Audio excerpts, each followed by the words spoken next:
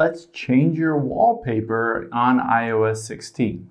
So if you've upgraded to the latest iOS 16, there are a bunch of cool features that allow you to change your wallpaper and a lot of cool different options. Now let's head into our settings here and we'll just scroll down until we find wallpaper and just tap on that. And now here you can see the ability to customize wallpaper.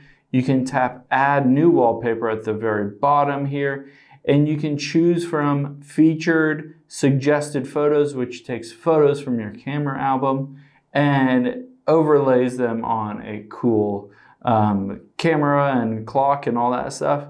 And then you can do a photo shuffle where they'll shuffle a bunch of different random photos. You can choose weather and astronomy, emojis, collections, or even color gradients.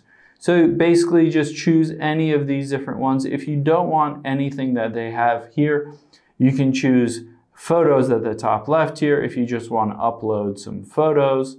Or you can choose people, emojis, weather, all of those different things. So you just choose whatever you want here and then just hit set and those will set those new wallpapers in iOS 16. Hope this helps. Thanks for your time today, and I'll see you on the next one.